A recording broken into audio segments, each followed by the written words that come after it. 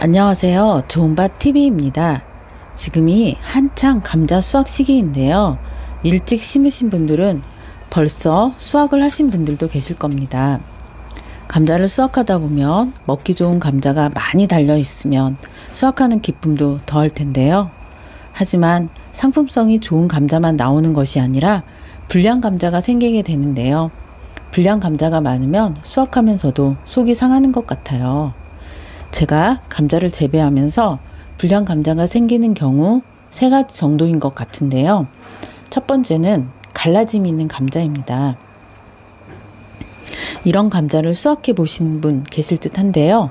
갈라짐이 생기는 이유는 감자 Y 바이러스에 감염된 씨감자를 심었을 경우와 감자를 너무 일찍 심어서 저온에 오랫동안 노출된 경우에 생길 수 있는 증상입니다.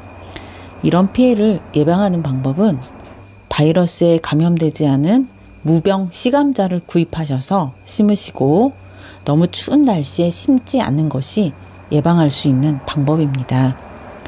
두 번째는 군뱅이 피해입니다. 땅속 작물인 감자, 고구마, 땅콩에 피해를 주는 군뱅이, 작물을 파먹으면 상품 가치가 없어지게 되는데요. 밑거름을 완전히 부숙된 퇴비를 쓰시고 밭 가리씨, 토양 살충제를 넣고 해주시면 군뱅이 피해는 어느 정도 예방할 수 있습니다. 마지막으로 감자 크기가 너무 작은, 경, 작은 경우입니다. 불량 감자라고 하기는 좀 뭐하지만 어떤 감자는 큰데 다른 감자는 작은 사이즈로 나오는 경우가 있습니다. 그 이유는 감자 순을 너무 많이 키운 경우와 수분 부족이 원인, 원인입니다. 감자순은 보통 두 개 정도로 키우시는 게 좋습니다. 감자순이 많으면 작은 감자를 수확하게 되는데요. 감자순이 10cm 정도, 10cm 정도 자랐을 때 감자순 제거를 두 개나 세 개 정도 남기시고 꼭 해주셔야 합니다. 네 개 이상 순이 생기면 감자가 많이 작아지더라고요. 또한 감자 꽃필 때까지 수분 공급이 안 됐을 경우에도 크기가 작아집니다.